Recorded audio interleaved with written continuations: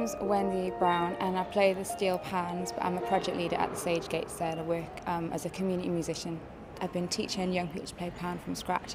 I take them to compete in Notting Hill Carnival every summer.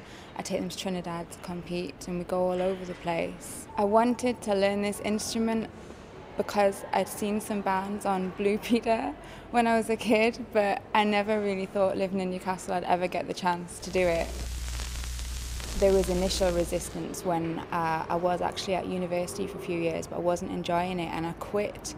And that was a massive disappointment to my parents. But shortly after that, when they saw what I was doing um, professionally with the steel pan, they're now there have been opportunities for me since then to go back to university and they've been quite against it because they're really happy with what I'm doing.